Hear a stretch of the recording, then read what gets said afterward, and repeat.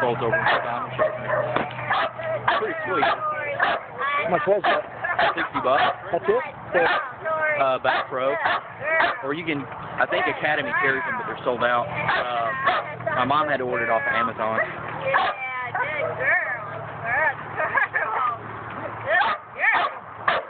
They make uh